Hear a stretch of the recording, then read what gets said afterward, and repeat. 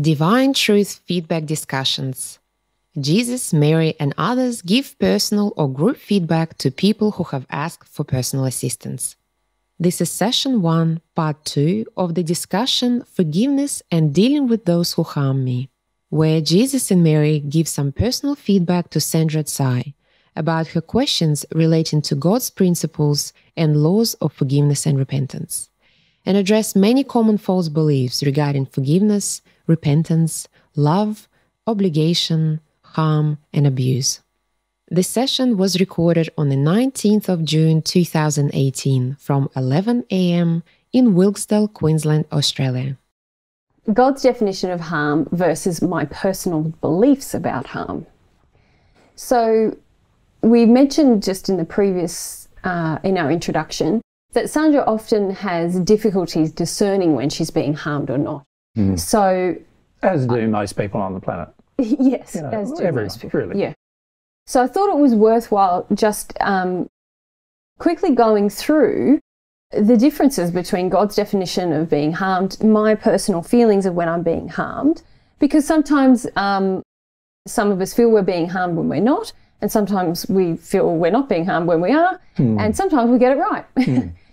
And this is something we've discussed a lot in the forgiveness and repentance sessions that we did. Yes. You know, particularly the early stages of the forgiveness and repentance in session. session one, actually, we yeah. spent a lot of time on it. Yeah, yeah, that's right. So, so it is a subject that most people are still not really grasping well, mm-hmm. because because you've got to remember that it is God's definition of harm, not your own. That all of the laws yeah. are actually, you know, acting upon in yes. the soul. So, unless we have God's definition of what harm really is mm-hmm. and how we have personally been harmed versus how we, and also how we have harmed others from God's perspective, yeah. unless we have that accurately, uh, uh, we can grasp that accurately, we're not going to be able to enter the forgiveness or repentance processes at all. Yes. So it's a very important part of the subject matter to actually talk about this definition of harm of God's versus the definition of harm that mm-hmm. we have inside of ourselves as belief systems. Yes. Because I remember uh, not long after I met you feeling very inspired about this issue surrounding emotional processing that unless there was some truth to what I was feeling, for example, if I was crying about um, feeling like I've been harmed when I'm not, then uh, unless unless there's truth in in what I'm feeling, I, am um, nothing's actually going to leave me. I'm just reinforcing. And I see a lot of people in this state where they say, Oh, I'm crying, I'm crying, nothing is changing. And it's usually because they are in their tears reinforcing a false belief to themselves, crying about that thing, believing they've been harmed when there's something else that they're skipping over. Yeah, a great example of that is this example of when we tell somebody the truth after they've asked for it. Mm-hmm. Frequently, after we tell them the truth, they think that we don't like them anymore and that yeah. and that we've and they harmed. feel harmed. The reality is they asked for it, mm-hmm. and it was the truth. Mm-hmm. So how are they being harmed? They haven't been harmed.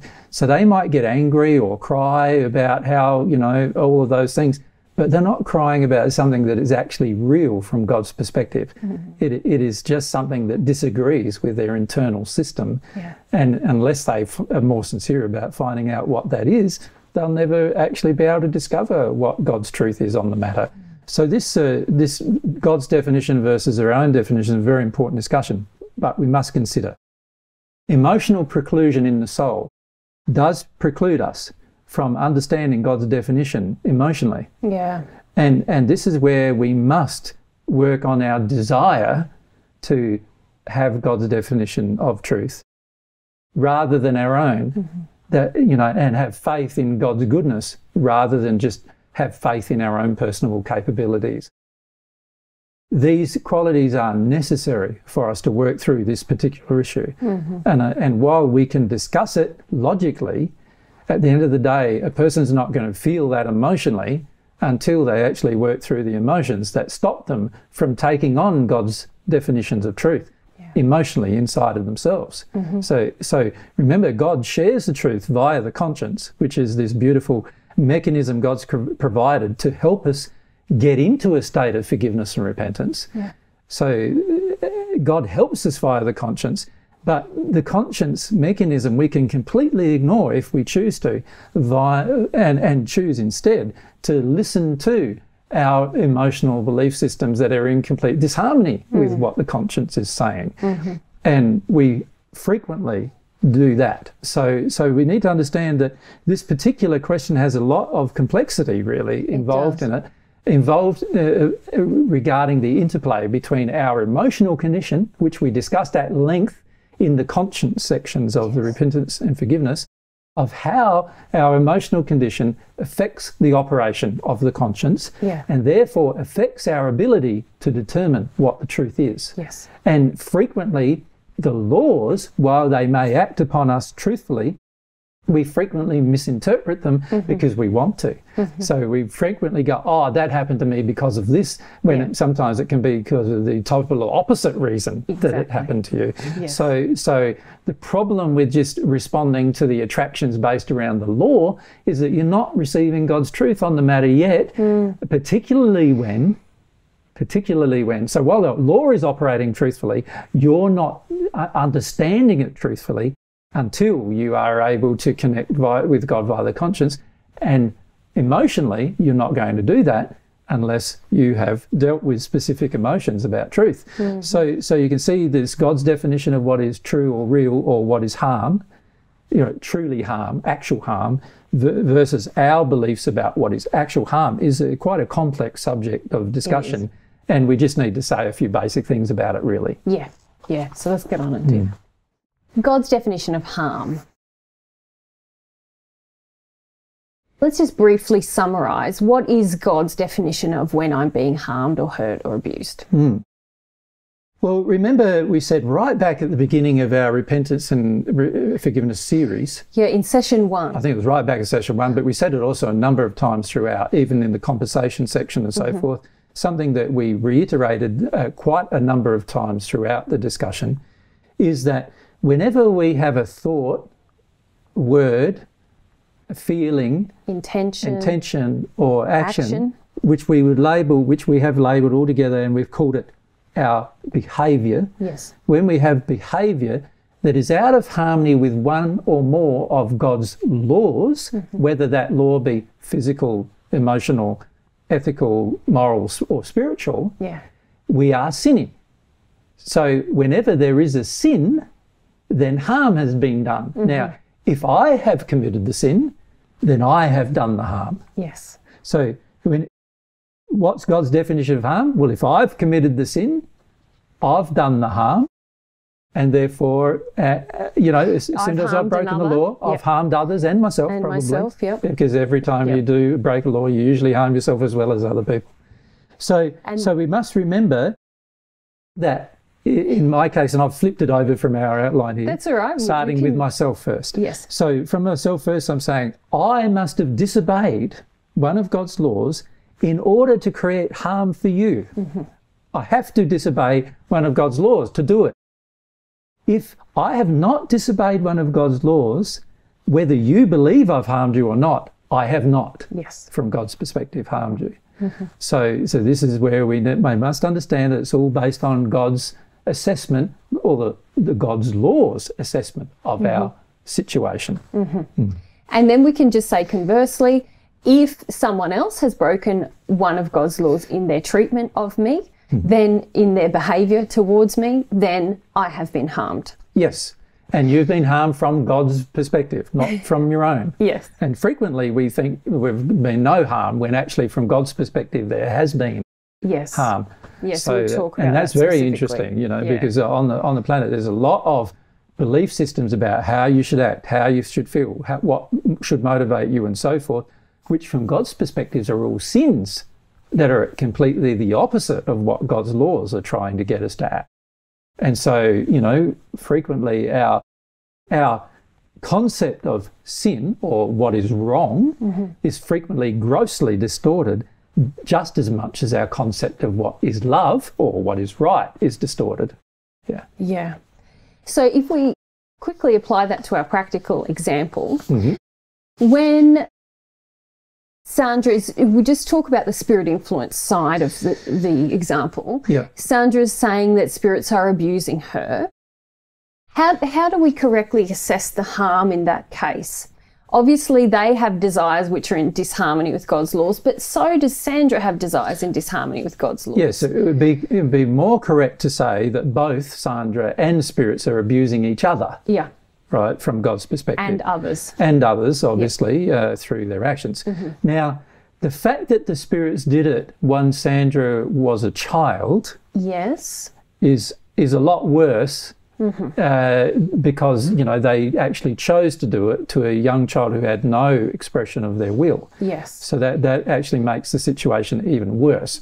And, and so they have abused a child, whereas Sandra here, in her codependence with them, is just abusing adults. Yes. Right? And there's a difference there. It's a codependence. There's a desire on the spirit's part to have this codependence, just as there's, a desire on Sandra's part to have the codependence. Yeah. So, so the reality is, though, that the spirits who are with Sandra have done more harm to Sandra than she has done to them, because they have done it since her childhood, uh, whereas she has not done it to them, right? Yeah. Through some choice of her own since childhood. And crucially, as a child, we don't yet have a developed sense of self or desire or a, an understanding of ourselves as an individual. Exactly. So, so in those cases, God's laws uh, make people who harm us more accountable for That's what right. is done. So the spirits who are with Sandra are still degrading their condition even though they've passed. Yes. So they have yet to actually leave the earth plane. They, they've yet to go from the earthbound condition into the hells of the spirit world. Mm-hmm. And they will go into the hells of the spirit world eventually. Once Sandra probably disconnects herself from them, they may do it then. Yeah. Or more likely, they'll try to attach themselves to another person or another person for mm-hmm. a few times before they go ahead and actually go to the place where they created for themselves Yes. through their condition. Now, that that's what people that's the law. You know, the law the law is happening that way. But to to actually say that it's all their fault mm. is not accurate That Because- just they are doing the because there are a con- there are a number of people at fault here. There's Yeah. Sandra's parents, Yes. who in, obviously through their treatment of Sandra encouraged the development of emotions within Sandra that caused codependence with spirits. There are the spirits' emotions themselves, mm-hmm. which are obviously out of harmony with love, that caused the their desire to influence Sandra as a child. But now, as an adult, there's emotions in Sandra where she justifies mm-hmm. the desire for fear, and she wants them to tell her things that she needs to be afraid of. Yeah. So, so that you She know, can avoid self responsibility. well, also because she she she can avoid imagined hmm. pain, mm-hmm. and that's all really about the fact that she wants to avoid real pain. Yeah. She wants to avoid potential future pain because she is already trying to attempt to avoid her past pain. Yeah. When a person goes through emotionally where they no longer attempt to avoid their past pain, they'll also no longer attempt to avoid future pain, Yeah. ironically. Yeah. So, so the fact is that you know attempting to avoid past pain is Sandra's sin. Yes. That, that's one of her sins here. Um, it's in disharmony with the law of the way the soul works, and it's going to cause pain and suffering for Sandra Yes. if she keeps doing it. And so, in each case, we can see the analysis of this issue with spirits. You can see that the spirits are doing harm to Sandra. Mm-hmm. Sandra is also doing harm to them at the moment. Sandra has also been harmed by her parents. And also, Sandra is harming herself because she doesn't want to deal with specific emotions. And other people, in fact, and through of her course demands. she's bound to harm other people Yeah. because of the demands Yeah. so so only god's laws can access things this accurately Yes. because at the end of the day when we try to analyze it usually we're only analyzing one part of the equation Yeah. When the reality is quite that there are many many facets to the equation which god's laws all perfectly measure so This is when I al- this is when I always say, thank goodness God does that e- equation, the, Exactly. you know, the tallying, because And remember, God measures everything lovingly. Yes. So God takes into account for Sandra mm-hmm. that her parents created this condition inside of her and that these spirits have, have attached to themselves to her from a young age. God takes all that into account. But He's not going to let go of the issues that Sandra has, mm-hmm. right? There's still issues that Sandra has to address.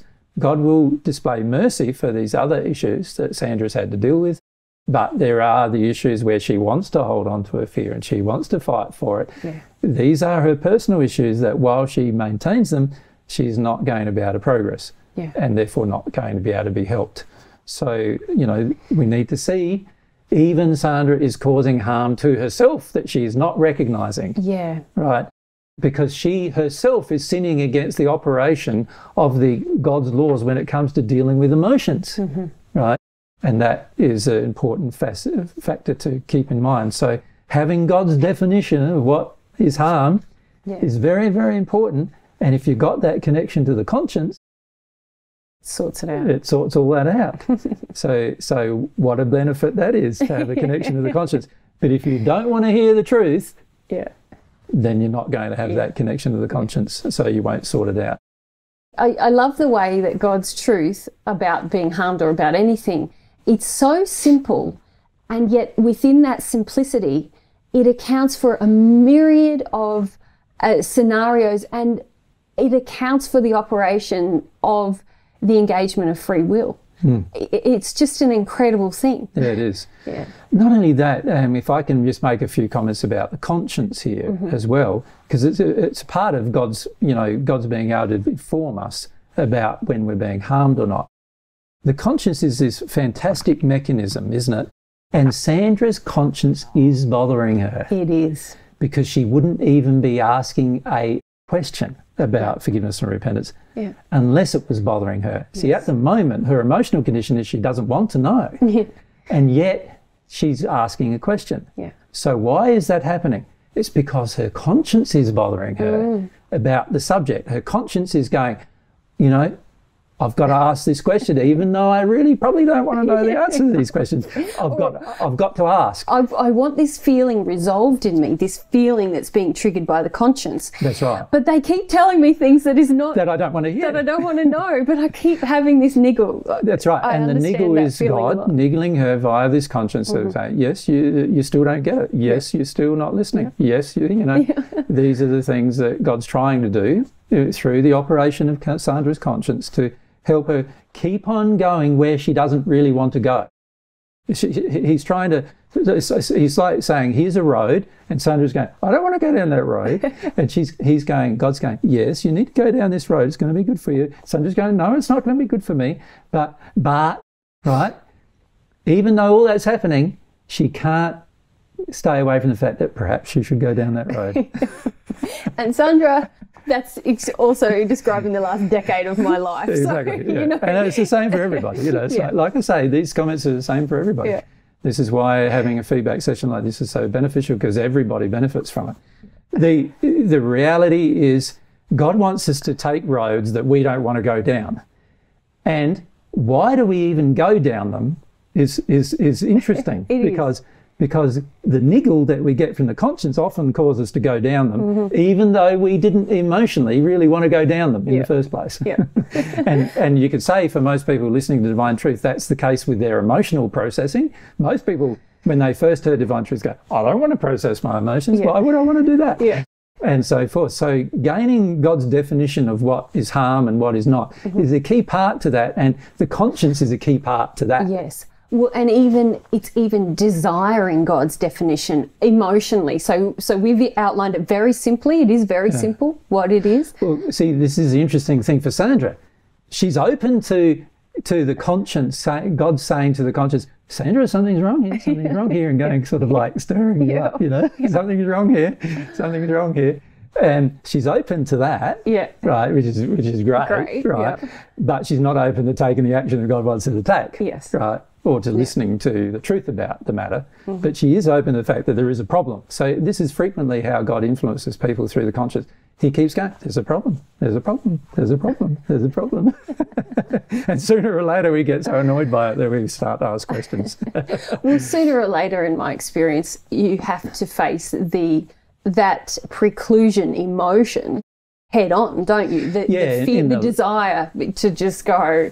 I don't want to go where you're going. We have to go where you're pointing. we have to face that emotionally, that experience Yeah. that emotionally. Yeah, and that, and that's one of the things God's trying to get us to do to, Yeah. to be more God reliant. You know, Yeah. obviously the first God knows that God knows that if if we allow more God reliance, then we'll get there faster. Yeah. If we rely on ourselves, we're not going to get there slower. Yeah. Right? God knows that. He's not silly. He created it that way. You know, He's mm-hmm. got all the intelligence and all the knowledge. We've got a limited amount. Of course, it's going to be that way. We just need to come to terms with that. Emotionally, come to terms with the fact that we don't know everything, and that there is a being that does know everything that we can actually talk to and find out about Yeah. everything. And and this is why finding out what God's definition about you know what is harm is so important to us. Mm. And just finally, on your point about the conscience niggling, what I notice is that a lot of people, after they hear some divine truth, often it does open them up a little bit more to their conscience. It does. It niggles them a bit more. It niggles them more.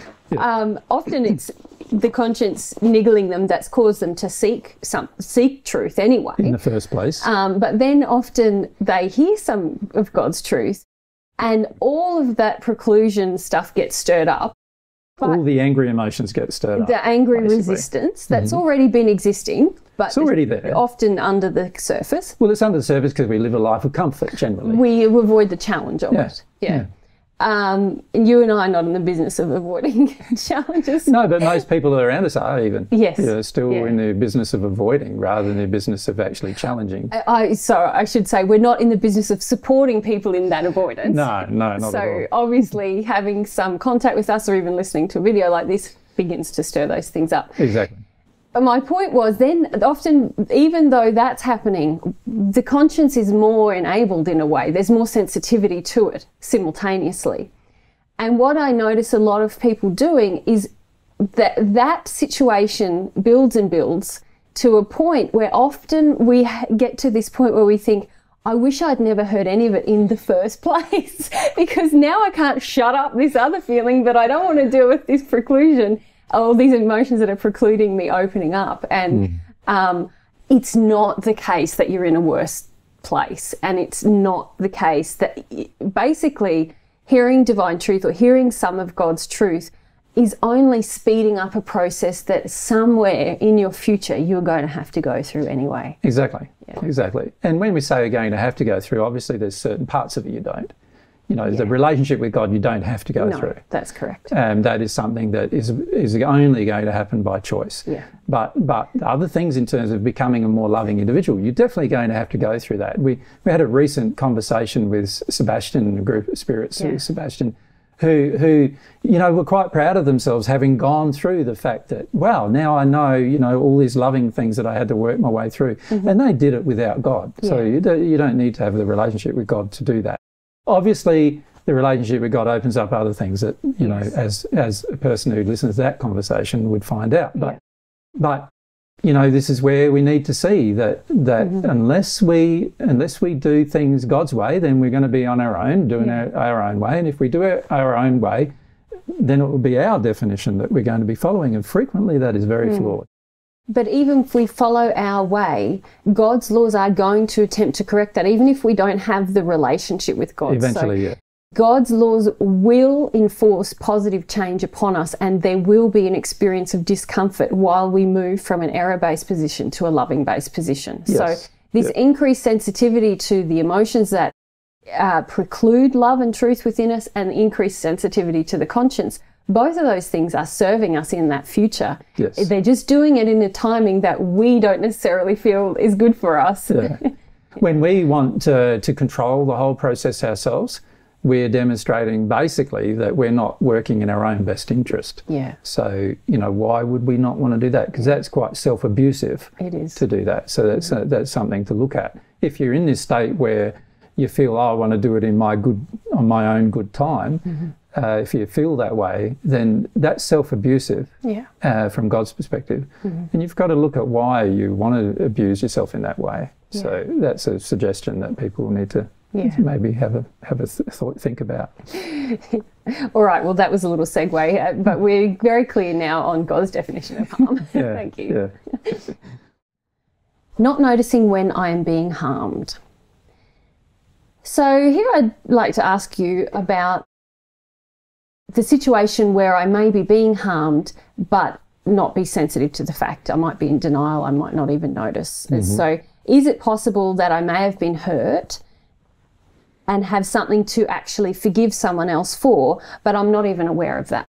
Yeah, well, uh, it is completely possible. In, fa- in fact, highly likely. Yeah. Because uh, uh, everyone on earth has a flawed perspective of love and has a flawed perspective of what is truth. Mm-hmm. So, because we have false beliefs about love and false beliefs about truth, we naturally believe certain things to be true that God knows is false, and we also naturally believe certain things to be false that God knows is true. Now, to give some examples of that. Mm-hmm. So, if I've got a desire to maintain my addictions for codependence, Yeah. there's an example where I would like somebody else to do something. I think they're nice when mm-hmm. they do it, but the reality is They're harming. they're harming me if they do it. Yep.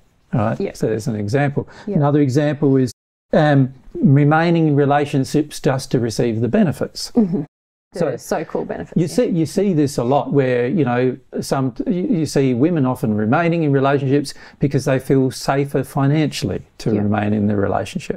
Right. or men uh, renovating the kitchen so that they get sex. That's right. That's Like, right. That's to put it crudely. Yeah, You know? and, and and while they might not think it's that way, there is this codependency and and feeding another person's addictions for the sake of them feeding your addictions means that both of you are harming each other from Yeah. God's perspective. Yeah. So, you know, the, this is harm perpetrated, and naturally, a person in a codependent relationship like that doesn't even notice it. In fact, they believe it's like it. fantastic. Usually, they, they love it. Yeah. they, they think it's really good if that happens. Yeah, yeah. You know, how dare my husband doesn't fix the kitchen when I want him to? You know, I shouldn't give him sex now. You know, that, that is a common viewpoint, and particularly in Western society. Of course, in in most third world yeah. societies, you wouldn't get away with that No. without getting abused, right? Yeah. Which is also uh, the indication of staying in the relationship Yeah. because of, of prevention of your own death. Even staying in a relationship is a is a codependence which Mm-hmm. God doesn't agree with. Yeah. Yeah. Um, the desire to remain emotionally con- disconnected, distracted, and so forth. You know, you know, what does God want? What is God's truth? God's truth is He wants us to feel our emotions. Right? He wants us to process through them. He doesn't want us to be disconnected from them, and He doesn't want us to be distracted from them. So every time you distract yourself from them and you disconnect yourself from them, you're actually harming yourself. If you try to do that to another person, you're harming them. So they But would most people are happy with that. yeah. Uh, you know, I've, I've just broken up from my, you know, my husband, wife, Yep. slash partner, whatever, Yeah. and let's go and get some ice cream and uh, have some drink and go to the pub and see who we can pick up Yeah. so that I can feel good, you know. And most people would go along and say, yeah, that's a great thing to do. Yeah. And, and if you support the person doing that, you're a great friend. Yeah. When from God's perspective, none of that is true. Mm. You're not a great friend. You, you shouldn't be supporting it. It's wrong because you're trying to get away from your emotions. Are you saying that if I've just broken up with my boyfriend and my girlfriend calls me up and says, I'm coming over with chocolate and ice cream and DVDs, Yeah. you, I would have to say, you're very, From you're God's harming me right now. yeah. I'm going to have to forgive you for that. from God's perspective, that is a sin. From God's perspective. And whereas the average person on the planet would go, What? What are you talking about? of course, that's not a sin. That's, that, that's what a friend does. yeah. Yeah. You know? Yeah. You know, there's a difference between going there and talking about the reasons why it broke Yeah. up or whatever. That's more, that's, that'd Encouraging be, that'd be more in harmony with love, right? Yeah. But, but actually encouraging a person to be completely distracted from their emotions, that's not in harmony with love. Not from God's perspective, Mm-hmm. anyway. And remember here, we're talking about harm from God's perspective. Yes. Right. So another one is not wanting to know the truth. Hey, that's frequent, isn't it? Like, you know, you ask somebody their opinion, and because really what you want to know is you want them to agree with your opinion. Mm-hmm. yeah. Yeah. Yeah. Right. You don't want to hear the truth from them most of the time. Yeah. You want to hear what your version is of truth mm-hmm. most of the time. That that's a sin from God's perspective, right? So, from God's perspective, we want to hear the truth, not yes. and we shouldn't ever feel like it's a bad to hear the truth.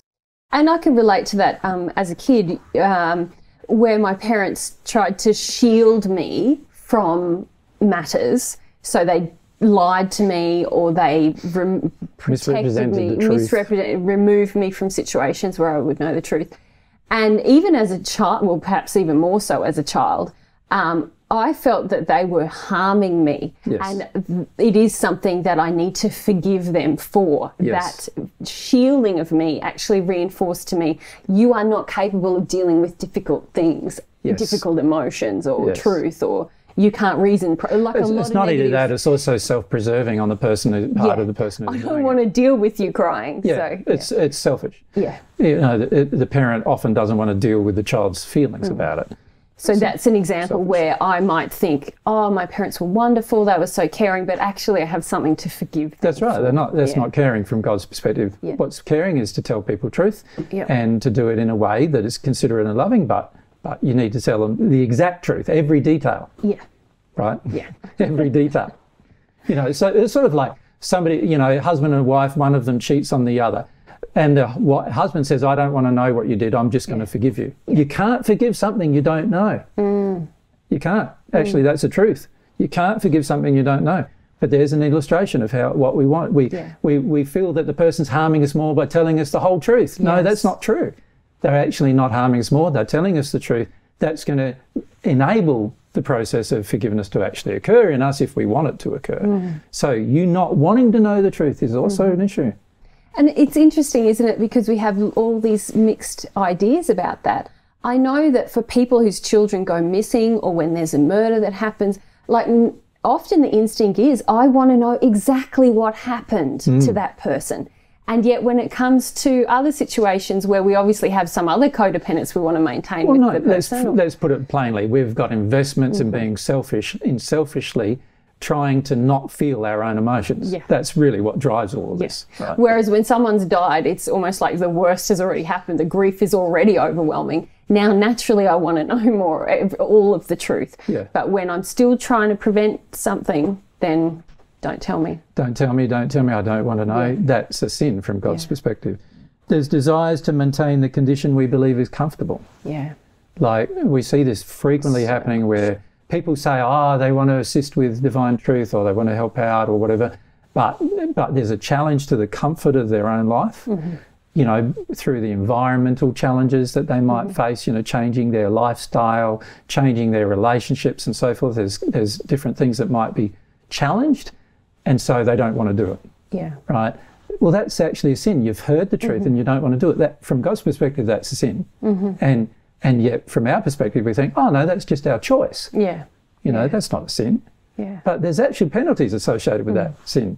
So, in fact, in that case, I'd have to repent for that situation. Certainly, myself. certainly, yeah. Yeah. There's the desire to justify our personal harm of others. Like we often do that. We go, oh, I'm angry you with you, yes, but it was because you said this and you did that and mm. you, you know, you cheated on me and you did all these other things to me. That's why I'm angry with you now. No, it's not. it's Yes. not why. That's not a truth. And also, you desire to be angry with a person who's done all those things is not even uh, like that's harm Yeah. from God's perspective. Yeah. So you know, And and something else I see commonly is because remembering here we're talking about um, being insensitive to when I've been hurt myself. Often people have this desire to hurt people in the same way that they've been hurt, and that causes them because they want to keep doing what they're doing. They want to justify that. That causes them to rationalize and detune from the fact that receiving that same treatment actually hurt them. That's right. So they don't see, uh, you see this a lot generationally in parenting and so on, or Yeah. between, you know, mothers and daughters, and uh, where my mother treated me a certain way, and now I'm automatically treating my daughter this way, for example. Um, I don't want to feel that what mum did hurt me because then I might have to deal with the fact that I'm hurting my daughter. That's right. You'll even in that place go. You'll even say, "Oh, Mum did her best, and uh, you know, And she loved me. it was fine, and That she still loves me." And Yeah. you know, you'll give yourself all of this g up, you know, Yeah. because because you can't face the fact that you're doing the same thing to your daughter, and it, and it is unloving. Yeah. You know, so yeah, there, there's a lot of that going on, isn't there? Where Mm-hmm. where, where we're frequently saying. We're, we're frequently desiring to not know that others have harmed us, because we do the same thing. And if we accepted that somebody else harmed us in that same way, then we'd have to accept that we are harming other people in the same way. Yeah. And so we don't want to do that. And so we frequently justify a person's harm of Mm-hmm. us in, and and put it even as a as a oh in a love place. Ah, ah, I'm grateful. Oh, they love. I'm grateful I did that. You know, I you know that that they demonstrated their love doing that and all mm-hmm. that kind of stuff. We'll, we'll do that. Yeah. in order to not come face to face with ourselves or face to face with the pain that's inside of us. Yeah. We'll As a result of it. Yeah. Yeah. Yeah. We often have desires desires to avoid taking positive action, Stephen. So, mm-hmm. so for example, the desire to be ethical, desire to be moral, right? So, not noticing when you're being harmed is when somebody is encouraging you to be immoral, mm-hmm. and you might want that, Yeah. or somebody's encouraging you to be unethical, and you might want that, Yeah. right? And there's there's certain times when you do, like particularly if you think you might get attacked if you are moral, mm-hmm. because there are plenty of people on earth who will attack you if you're moral, Yeah. and there's plenty of people on earth who will attack you if you're ethical too. Yeah. And, and so you, you avoid attack. So now you want encouragement Yeah. to, to, to avoid morality and ethics. And so when somebody does that, you think, oh, they're helping me. Exactly. And you go away feeling happier, but actually Yeah. you've been harmed. yeah. So, And and also that same desire, say there's someone in my environment who's doing something very destructive to the environment, um, and I just don't want to feel some personal fears about addressing that with the person. I'm just as likely to say there's nothing wrong here that's right. because my brain doesn't really even have to engage, as we discussed in the previous section. If that desire is within me, precluding any other logic on the matter, I'll just say, no, there's no harm being done. I've got nothing to forgive, even though that person just destroyed A, B, and C or yeah. uh, under undermined me or whatever. Yeah. Yeah, so so if you look at if you look, and we've only listed a few reasons few. here as to why we wouldn't notice when we're being harmed. Like from God's perspective, remember we're talking about being harmed from God's perspective, and frequently we don't notice that we're being harmed from God's perspective because we don't see it as harm, Yes. whereas God does Yeah. you know, we don't see these things as harm, we see them as good. Mm-hmm. You know, frequently we want them. Yeah. In other words, we're saying, from God's perspective, that we want to be harmed mm. Because mm. we don't see it as harm, we see, the, see it as good. Yeah. And, and this is a big problem for us. And, and of course, if you don't notice when you're being harmed, you, you don't know what to forgive and you don't know when you need to be repentant for when you harm mm. others, right? Yeah. You got no idea. Yeah. So frequently we, we we're there, might be there crying because someone told us the truth or crying because somebody didn't feed our addiction or, mm-hmm. or angry because someone didn't feed our addiction and thinking that we're right when from God's perspective we're completely wrong. Yeah. Yeah. Yeah. And that's very frequently the case. It is. Mm. Feeling harm from God's perspective when I am not. So now we talk about this in the converse. is it possible to feel I am being harmed when, from God's perspective, I'm not? What would cause me to believe someone is injuring me when they aren't? Yeah, so the question first is it possible? Well, no, it's not just possible, it's highly likely. you know, given the fact that, that, that people's definitions of love on the planet are severely distorted when they're compared to God's definition of love. And given that God's definition of harm is completely different to the human definition of harm, it's highly likely that I'm feeling I'm being harmed when, from God's perspective, I aren't actually being harmed, Yeah. right? So in the assistance groups, you called uh, the world's definition of love evil, which is love literally backwards, because a lot of times And not is far removed from evil evil, either. close neighbour. Yeah. Um, so basically, all of this feeling I'm harmed um, when I'm actually not, uh, all arises from when I have a false definition of love within me. Because then I think love is A, someone does B, which might actually, from God's perspective, be loving. And I think, well, you've just missed the mark, you're hurting me. And remember, false definitions of love are emotional Yeah. and they cause us to believe certain things to be true when they're not. That's what they do. Mm-hmm. So, all of these false definitions of love are also untruth, but they are all emotional. So, I have feelings in me. So, so for example, rather than talking about the, the thoughts, if we go, I feel hurt when somebody tells me the truth, Yeah. I feel it. Yeah. Now that that straight away tells me my definition of love is out of harmony with God's definition of love, and my definition of harm is completely opposite to God's definition of harm mm-hmm. because I'm feeling a feeling that says, you telling me the truth is a bad thing. Yeah. Right. What if I feel that you don't support me? Hmm. You In don't life. have to support me. So if I feel you're not supporting me and I feel hurt by that, Yeah. my, it's my false definition of love. Yeah. I don't, nobody has to support you. Yeah. You're an individual. You stand up in your own right from God's perspective. Mm-hmm. Right? The fact that you feel hurt means that emotionally there is a false definition of love in you about that Yeah. right? When it comes to feeling hurt when others don't support my decisions. So I make a decision, I think it's a good one. Somebody else says, oh, that's a stupid decision, and you feel hurt, Yeah. right? Why would you feel hurt? Mm-hmm. If you feel hurt, there's your false definition of love appearing again, Yeah. right? You're allowed to make your own decisions and they're allowed to be completely opposite of what somebody else would do, mm-hmm. right? And they're allowed to say that as well. Mm. They're allowed to say, I wouldn't have done that. I think that's a silly decision. they're allowed to say that, Yeah. Right? Even if they're wrong, they're allowed to say that. Yes. The fact that you feel hurt by it Yeah. emotionally is an indication that the false definition of love exists inside of you. The false definition of what is being, what harm is mm-hmm. exists inside of you, mm-hmm. right? Being hurt when others ignore me, or everyone's allowed to ignore you, right? From God's perspective. Yeah. So if you're hurt that somebody has ignored you, right, then they've got a false definition of love. Now, maybe they wanted to ignore you and they wanted you to feel a bad thing. Well, that's their false definition of love. Yeah. But but if you did feel hurt that they ignored you, then that's mm-hmm. yours, mm-hmm. right? I get ignored very frequently, as you know, I do know. and uh, and I don't get very hurt about it because everyone's allowed to ignore me if that's what they want. Feeling hurt when my fears are not supported. So when I say supported, most of us have this sort of a concept that oh, you know, if I'm afraid of something, then you need to make it more comfortable for me to remain afraid of that, Yeah. and you need to my justifications to remain afraid need to stay in place, and you need to help me have mo Help me avoid action that might challenge those fears. Yeah. Just Yeah. change your whole life actually to help me not feel afraid. That's right. Yeah. And if you don't do that, you're a bad, terrible person, and. I feel like you're a terrible person. Now, if you feel that feeling, then you've got a false definition of love. And so you can't accurately assess if you're being harmed. That's right. Yeah. You, you know that is a harmful definition of love Yeah. from God's perspective.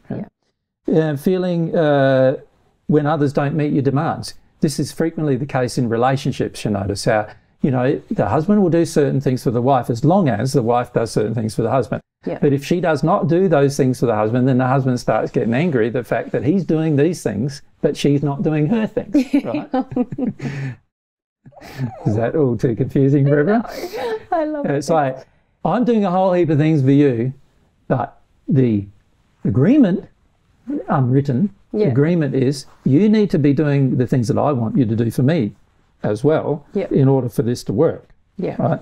That's a false definition of love, therefore hurtful. Yeah. My, I'm being hurtful to you by having it, or if you expect that from me, you're being hurtful to me. Yeah. So frequently, again, most people do that, Yeah. but from God's perspective, false definition of love, it's an error, it's a sin. It's not actually harm. Well, it's, uh, a, it's harm if I have the. If I have the response, but if you don't do something out of duty and obligation, so if your only motivation for doing something is duty and obligation, Then that's harm. then that's harm. You're actually harming somebody. Yes, you're giving a false representation of the of yourself. love that Yeah. you feel. So the other only person. thing you should be doing is if you love doing it. yeah, Right. That's when it, when you're not yeah. harming. when it's a gift, you when it's a gift, give. it's not a duty or an obligation anymore, right? Um, when my addictions are not met by others, right? Most people get into this state where you're harming me now. Mm-hmm. You know, I haven't got. If you think about it from a physical perspective, when an alcoholic doesn't get his alcohol, he thinks everyone's harming him. Mm-hmm. When a drug addict doesn't get his drugs, he thinks everyone's harming him. Are they being harmed? No, they're being helped actually. Yeah. Right. Same applies emotionally though, right? If I've got an addiction for a certain emotion Mm-hmm. and I don't get it, that's actually a good thing Yes. for me. Yeah. But I often will think it's not. Right? I think it's harm. The fact that I feel that it is harm Mm-hmm. shows me that emotionally I have no idea what God's definition of harm is inside and, of me. And it's a, as I mentioned earlier, it's a wasted sort of a, a grief almost. It's not a true grief. It's actually a tantrum grief. Of course. Sadness. Of yeah. course, it's a tantrum. It's an anger based tantrum, Yeah. which always indicates the underlying emotion is out of harmony with God's love. Yeah. Right. But, uh, but, you know, we could go on you know, for days on this subject, couldn't we? Like listing could. all the different things that we do that we believe are good, Yeah. but actually, from God's perspective, are harm. Yes. you know, and and obviously at the end of the day, if you really want to progress and you want to have a relationship with God and you really are going to engage forgiveness and repentance, you've got to have God's definition of what harm is, not your own. So I have a personal question for you about that because you're someone who, by your own admission, you know, still has uh, emotions which preclude God's truth about certain matters within you. Definitely. Um, however, it's very striking to live with you and observe the way you employ logic about when you are being harmed and when you aren't. So even though um, there's times where you might even feel sad about something, I've watched you over the years say, well, hang on, no, that's coming from uh, uh, an expectation that I have That's unloving. that's unloving, and I know that. Uh, My question for you then is do you feel that that comes as a result of either A, receiving some of God's love within you, so having more of a sense of um, uh, and a sense of what real love constitutes, as in it never involves expectation or obligation, and you know that emotionally, even though you might still have a remaining precluding emotion. Or it seems to me, B, it's also supported by your very strong commitment to become a self responsible person entirely. And so you, you hold yourself to an account that I've never encountered in anyone else.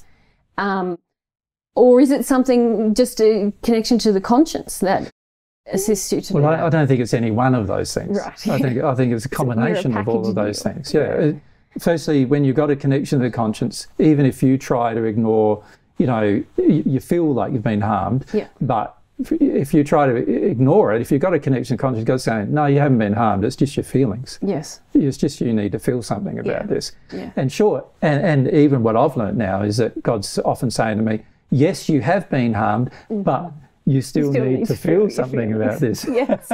I get that one too. Yeah. right? Yes, because quite quite frequently that happens where God is saying to me, "Yes, you have been harmed, but to stay in a space where you don't forgive the harm is going to cause you damage." Yeah. Right, and and this is something I'm working through a lot lately. Just how much harm gets perpetrated at times, Yeah. and then having to forgive each time, uh, and uh, and that you know that is a and, learning the lessons of like what do I do under those circumstances, even in terms of the loving thing to do.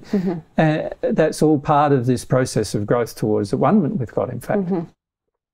So there's the conscience mechanism at work. There's also the desire for ethics, mm-hmm. which means that I, I don't, you know, if I if if I have a demand that you meet, then you're allowed to ethically would be allowed to have demands that I should have to meet. Yeah. Now I can see straight away that that wouldn't be good, right? So, so I have a very strict viewpoint of ethics in the mm-hmm. sense that I would never demand of you something that I feel that you, sh- you know, that I shouldn't demand something of you, and I'll also never demand something of you that I would not respond to a demand of from you. Isn't that interesting though? It's more out of your love of me that you don't want me to have to feel obligated to a demand that you have. Then eh, is that what really? Yeah, because at the moment, one of the areas that God's trying to get me to work on is love of self, right? Yeah. So, so, and obviously, this is an area where I haven't been uh, Yeah. as good as other areas, Yeah. and so that's something that God's been, you know, showing me a lot about, you know, in terms of, you know, learning to love myself, even though uh, very few people around me love me. So, so you know, try, you know, trying to get through, work through those emotions. The, the third thing is the issues of morals, like what is morals from God's perspective? Is it moral to demand something of somebody else that, that you're not willing to give?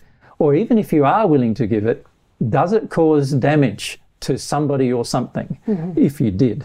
And, and if it does, then it's not moral to do it.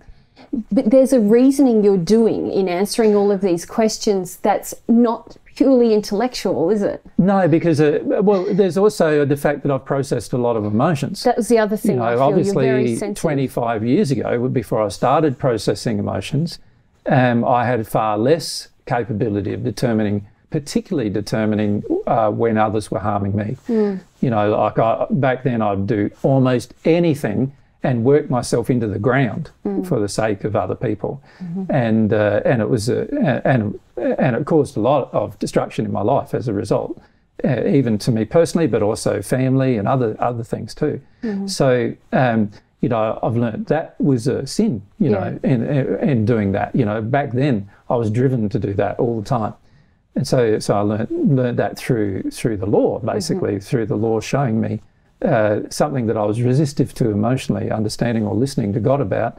The law showed me no, that was wrong. You know. And during that time in my life, I was very sick and very, Yeah. uh, very unwell all the time Yeah. Uh, and and often in a lot of pain and suffering, Yeah. emotionally and physically.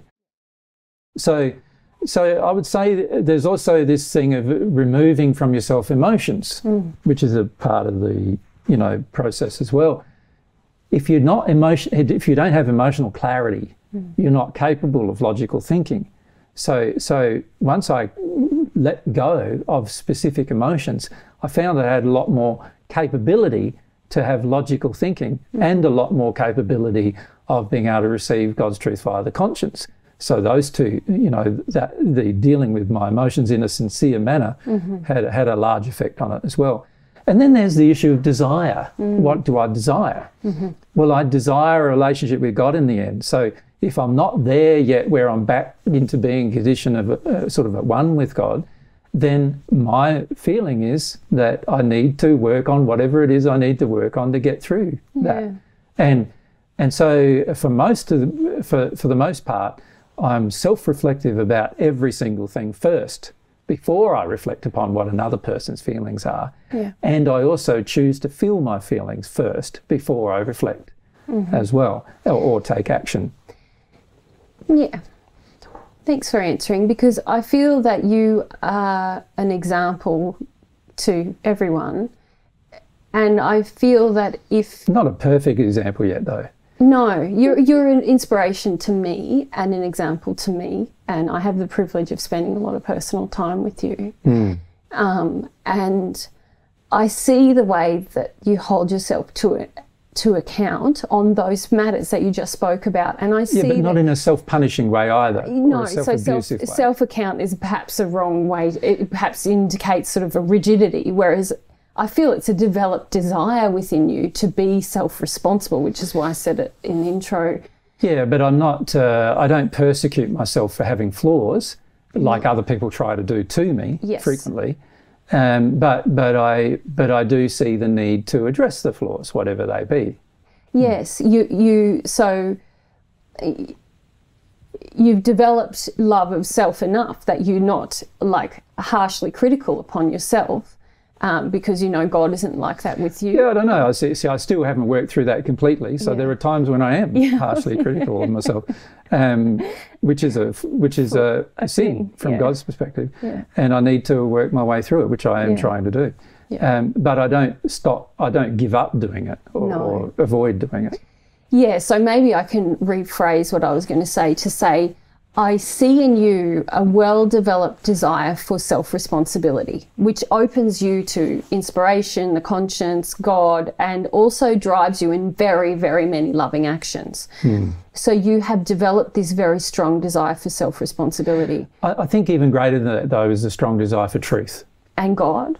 Yeah, well, both. You know, Yeah. like I, I see, I see truth and God almost as synonymous. Like one of God's largest qualities. You know, God is truth, Yeah. and just like God is love.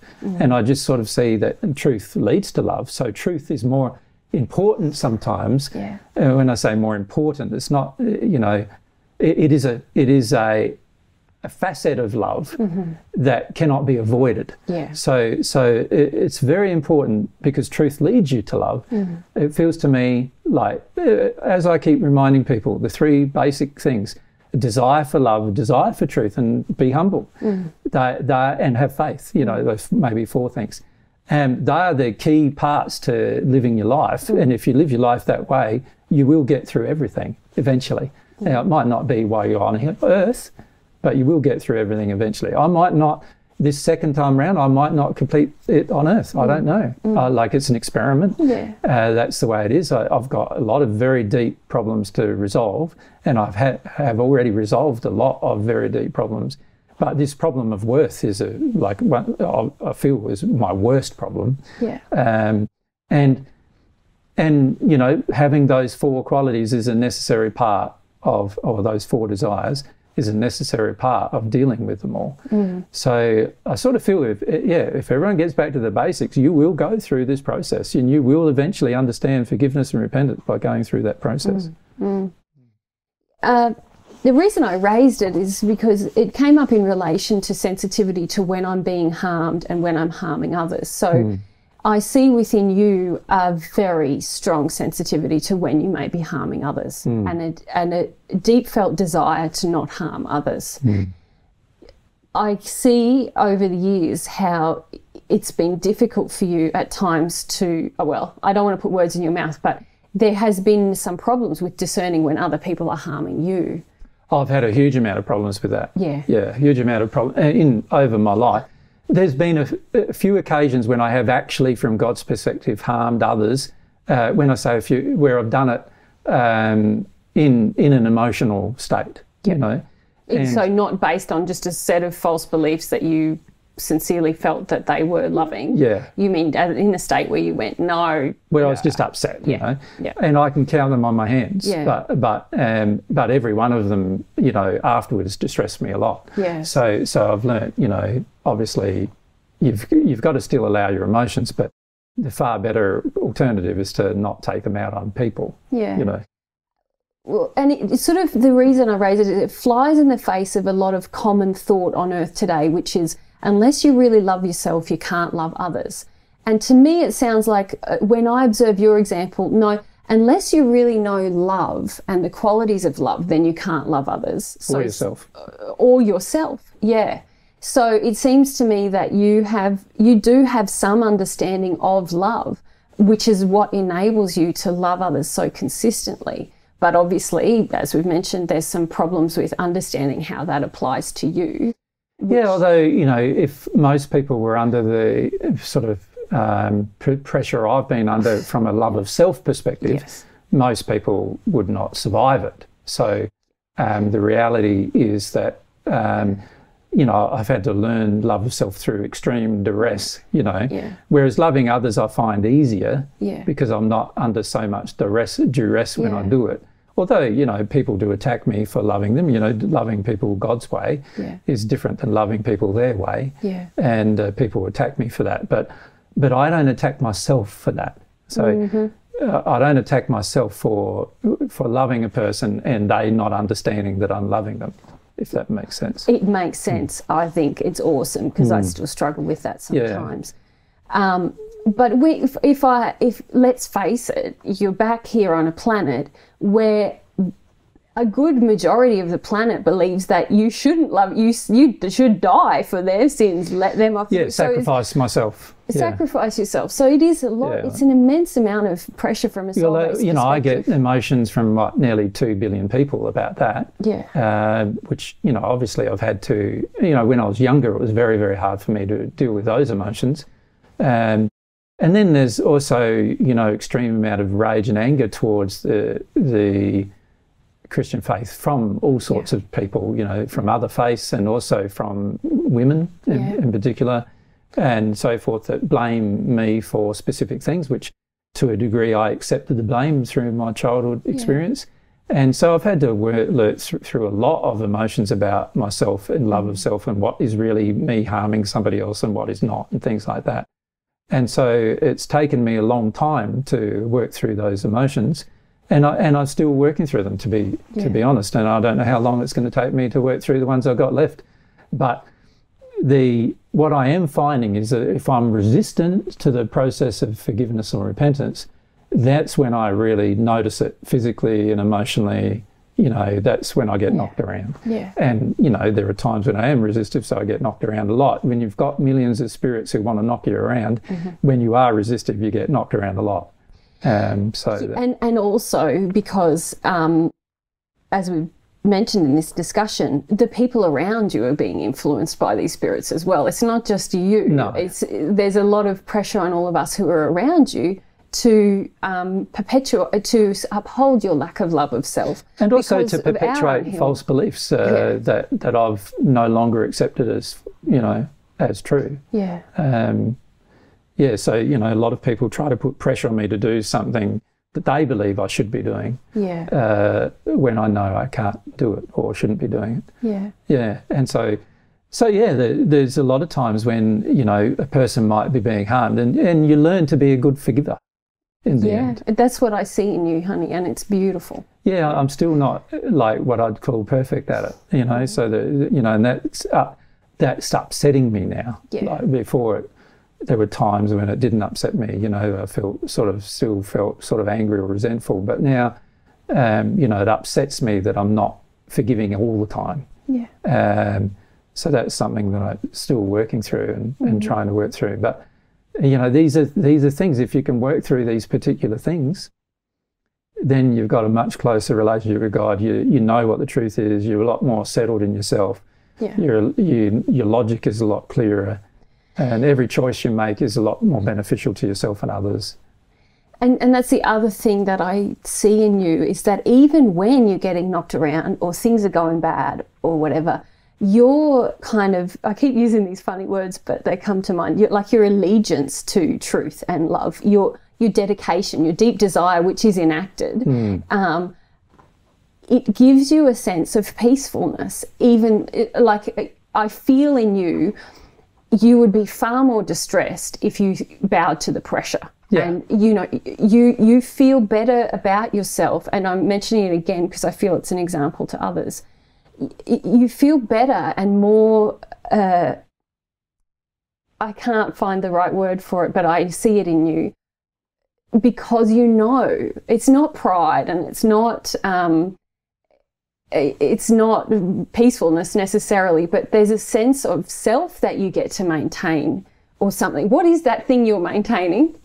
I feel it, It's but the I don't know. connection to God via the conscience. It's Yeah. like, to my mind, that is one of the most important, you know, relationships you can maintain. Yeah, And and whenever whenever that relationship is distressed in any way, yeah, uh, I feel distress. yeah, So so I've learned through through the years that it's far better for me, even even under extreme duress, it's far better for me to stay close to my relationship with God than it is to do anything else. yeah, And that means it's far better for me to be truthful than it is to do anything else. Far better for me to be loving than to do anything else.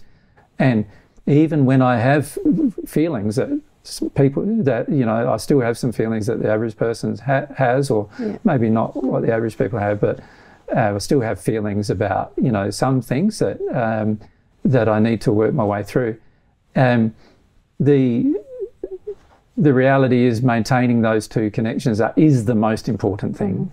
And I get pretty distressed when I can't maintain those two things. And and perhaps that's one thing I need to feel about too, how much distress I get when I can't maintain those things. But, but you and I have been through quite a number of experiences together. You know, like we went on uh, TV in Britain and there was a huge viewership and, and uh, a lot of instances dealing with things that um, were quite exposing or whatever. And what I saw during those experiences, you you almost faced them with a lot more calm. I'm not saying you didn't have other emotions going on. Uh, I mean, you've been verbally attacked by journalists on a number of occasions, but you maintain this because you want to maintain those connections with God and the conscience. You deal with those situations so much better than I did in those same situations with you because I didn't yet develop those desires.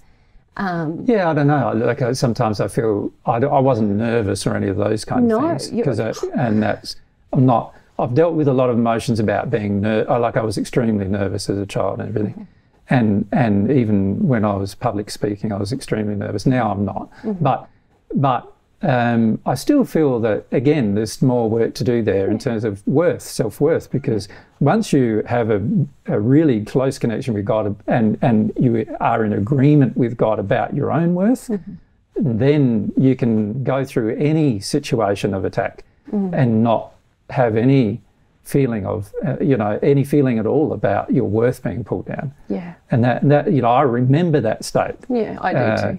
For and you, that's yeah. um, you know the fact that that's the state like it's one of my big driving factors of doing what I keep doing Mm-hmm. is is I remember that state and I want to have that state back Well, it's such a powerful. My memory of you being in that state on Earth, it just it's it's life altering for anyone who who's in contact with you. It's such a gift of love, and most people don't understand that that that that level of connectedness with your worth with God is actually a gift of love to others as well. You know, I remember how impactful it was for me and everyone around you. Yeah.